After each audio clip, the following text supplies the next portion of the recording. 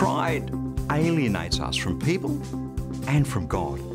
But we can't live this life on our own. That's why pride is such a destructive force. Hi, I'm Berni Dymet, and welcome again to Fresh. Let's face it, pride is such an ugly thing. When pride grips our lives, we find ourselves thinking so much about ourselves that we don't have room in our reckoning for anybody else. Now, I'm a bit of an expert on this. I spent much of the first 36 years of my life absolutely full of it, and much of my life since then being rehabilitated from all that pride by the grace of God.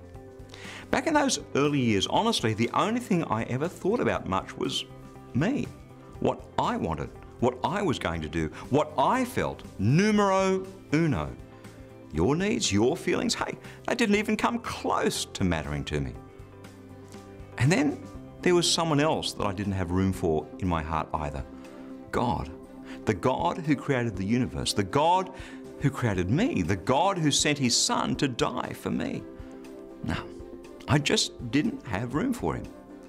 Psalm 10, verse 4 The wicked are too proud to ask God for help. He doesn't fit into their plans. What a great piece of wisdom. The reason my life was such a mess back then, the reason so many people's lives are such a mess today, is that God doesn't fit into their plans. Their pride prevents them from asking God for His help. Do you mind if I ask you, as you make plans for your future, does God figure in them or not?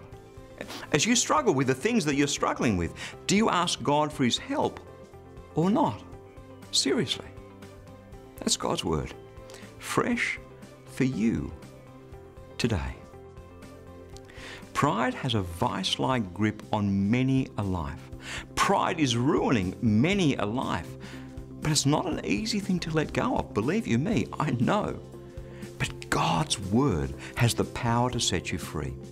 That's why I love to send you your fresh devotional each day a scripture verse and some words of inspiration, hope, and encouragement to help you be all that God made you to be. It's completely free. Stop by at ChristianityWorks.com for instant access. That web address again is ChristianityWorks.com. I'll catch you next time.